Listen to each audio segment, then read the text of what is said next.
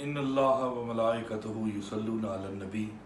या अय्युहल्लज़ीना आमनू सल्लु अलैहि व सल्लिमू तस्लीमा। अल्लाहुम्म सल्लि अला सय्यिदिना मौलाना मुहम्मद व अला आलि सय्यिदिना मौलाना मुहम्मद व बारिक व सल्लम व सल्लि अलैहि। अस्सलामु अलैकुम व रहमतुल्लाहि व बरकात। मोअज़्ज़िज़ हाज़रीन, नाज़रीन, मेरी आज की इस हाज़री का मकसद ये है कि मेरे भाई जनाब असलान अरसल ने एक ऑनलाइन चैनल का इजरा किया है।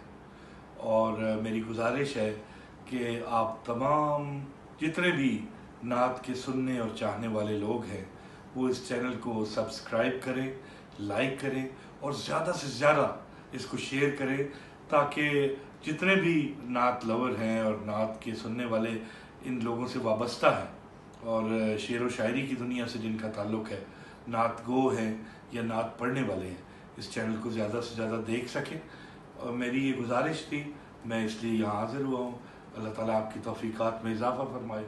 अस्सलाम वालेकुम रहमतुल्लाहि